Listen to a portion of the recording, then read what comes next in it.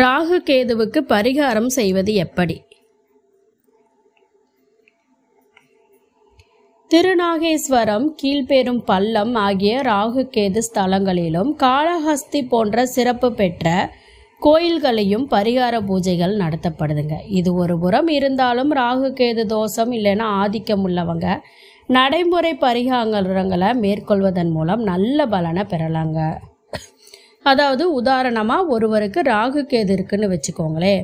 ஆதிக்கத்தில் இருந்தாலும் சரிங்க. அவங்களோட ஜாதகத்தில் ராகு கேது ஒட்டு மொத்தமாக ஆதிக்கம் செஞ்சாலும் ஏற்கனவே மனமுறிவு பெற்றவங்களை அதாவது ராகு ஆதிக்கம் திருமணம் செய்து கொள்ளுங்க அப்படின்னு அறிவுத்து அறிவுறுத்தப்படுதுங்க.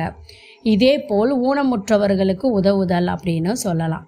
ஸ்ரீரங்கம் ரங்கநாதர் சிவன் உள்ளிட்ட அதாவது பாம்பு தொடர்பான கோவில்களுக்கு சென்று வழிபாடு மேற்கொள்ளலாம். நவகிரகத்தில் உள்ள ராகு கேதுவுக்கு விளக்கேற்றலாம். ஜோதிடத்தில்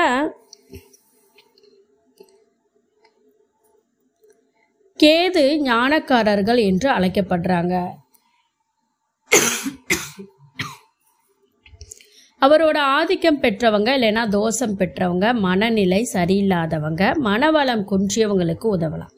பள்ளி பாடம் நடத்திய ஆசிரியருக்கு உதவலாம். பழைய பள்ளிக்கூடங்களை புதுப்பிக்க உதவலாம். பணம் செலுத்த முடியாமல் தவிக்கும் ஏழை மாணவர்களுக்கு படிப்பு பொறுப்பேற்கலாம்.